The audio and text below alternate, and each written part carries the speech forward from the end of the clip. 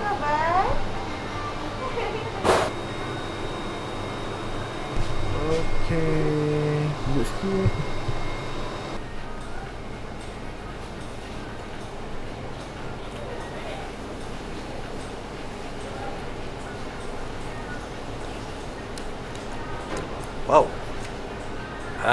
Susah nak habis kan. Tapi aku ingat pesan mak aku. Makanan sedap ke tak sedap ke, kau kena habiskan juga. Assalamualaikum what's up guys. Okey, hari ni memang panas terik betul. Okey. Berpeluh-peluh aku. Dah masuk kereta ada aircon pun berpeluh juga. So kejap lagi ni aku nak pergi makan aiskrim. Ha, tapi aiskrim kali ni, okey, memang lain macam babe. Nak tahu macam mana dia punya lain macam tu? Ha, teruskan menonton.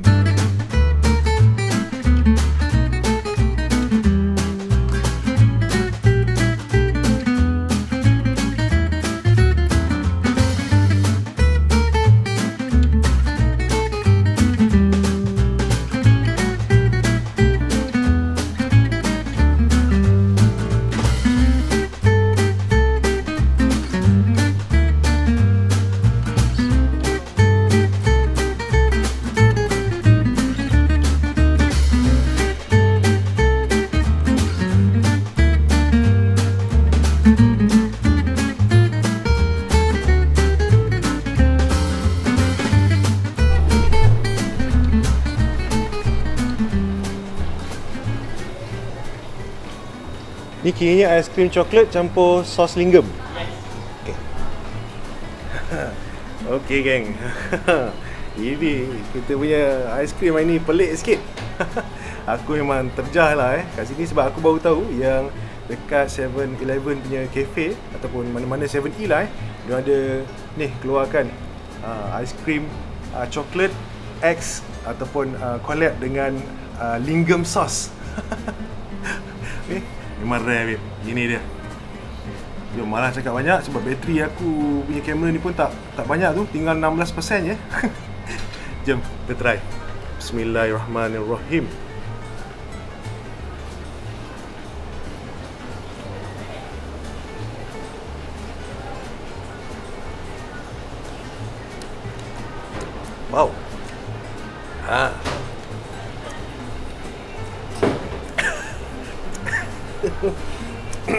Okey.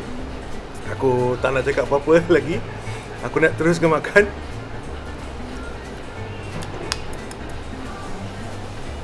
Hmm.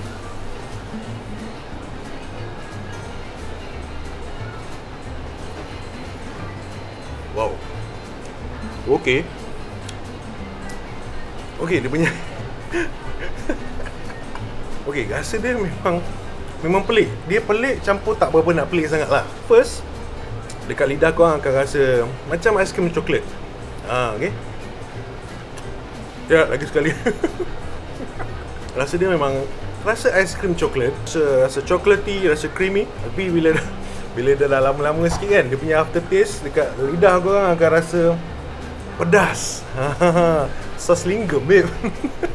Sos linggam campur buat aiskrim coklat ni. Apa memang rare betul.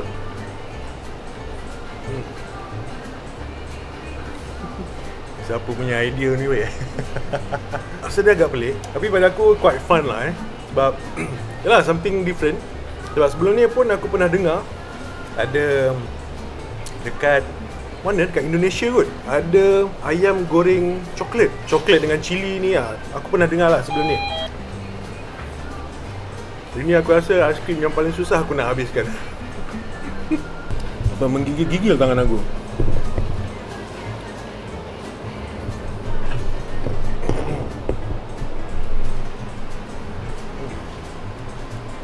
Aku tak buat tripod.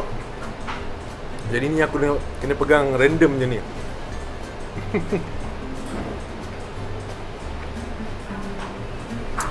Okay, lepas dah makan lebih kurang dalam 3-4 minit ni kan Aku Aku find out Rasa dia quite interesting walaupun Ya, korang akan rasa pelik. Ha, Dia tak adalah rasa chili sauce tu eh. Ha, Dia tak ada rasa chili sauce Yang terlalu rasa chili sauce tu. Dia just rasa yang Aftertaste yang pedas. Ha, Dia rasa manis, coklat tu ada. At the same time Dia meninggalkan rasa yang Sedikit pedas Kat hujung-hujung lidah. Ha, Dia bukan pedas yang Menggila tu. Ha, Kalau ada siapa-siapa anak-anak yang nak cuba tu Aku rasa Tak ada masalah. Ha, Budak-budak boleh cuba ni. Dia tak terlalu pedas sangat. Hmm. Yang ni harga dia RM2.90 Dan Satu lagi Dia ada Cup. Yang cup tu harga dia RM3.90 kot Dia besar sikit lah eh, yang cup. Tapi aku rasa ya Lagi thrill makan Dalam ni lah kot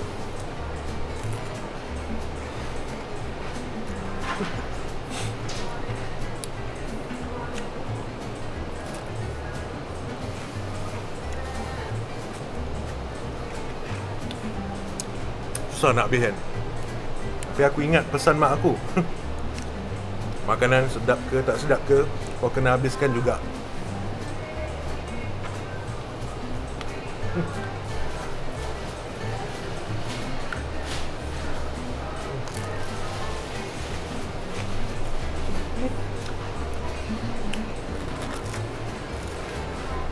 Wah, sejuk. Brain freeze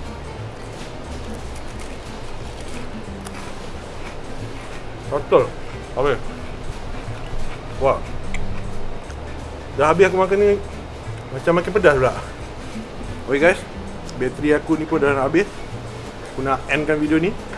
Siapa-siapa yang rasa macam Nak mencuba Boleh cari dekat mana-mana 7-Eleven yang berdekatan dengan korang. Cari dia punya Ada Apa orang panggil tu? Dia punya tag tu kan? Kalau ada adalah Something different Something yang Korang kena cuba tak cuba tak tahu lah. Mana tahu kena dengan selera korang. Okay guys kepada korang yang belum lagi subscribe YouTube channel Pada Beef Studios Make sure korang subscribe Dia klik bell button yang dekat sebelah kanan tu. Dan siapa-siapa yang belum lagi uh, Follow kita orang dekat Facebook, Instagram dan juga di TikTok Boleh follow Padu Beef Studios. Okay guys. Aku nak gerak dulu. Huh. Pening Beef Lepas ni aku nak Aiskrim coklat Gabung dengan Chef Amar. Okay Buat aiskrim coklat lamb shank. Padu Beef